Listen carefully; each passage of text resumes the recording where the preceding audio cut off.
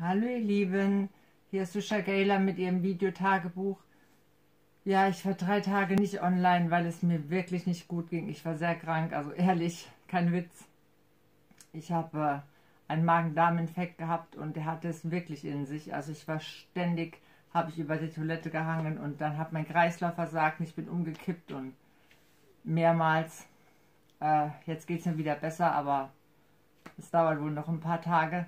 Ja, ich habe gestern am Valentinstag eine sehr schöne, unter anderem, eine sehr schöne Harry Potter Tasse geschenkt bekommen. Ne?